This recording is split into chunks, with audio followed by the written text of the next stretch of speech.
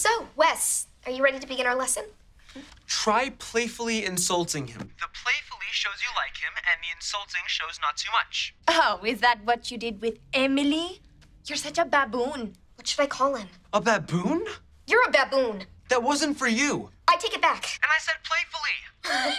You're a baboon. Tell him it's a part of the tutoring. Tell him you want him to say you're a baboon in Spanish. Uh, this is part of the tutoring. I want you to say you're a baboon in Spanish. That could definitely be on the test. I've never had a tutor before, but this just seems wrong. Perfect. You're uncomfortable, which means you're alert, which means you're learning. If you start to feel too comfortable, I'm gonna have to startle you. Boo! well, next time you won't see it coming. Boo! If this is how you are with girls, I'm glad I'm not your girlfriend. What are you even talking about? You never even wanted to be my girlfriend. So, what is Spanish for baboon?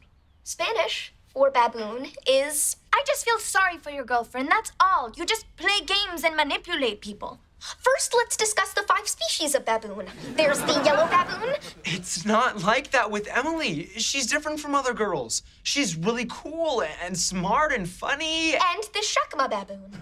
Look, I already know all about baboons. You do? Of course you do. Oh, so Emily is the first really cool girl you've ever met? Why do you even care? If I didn't know better, I'd say you're jealous. Ha.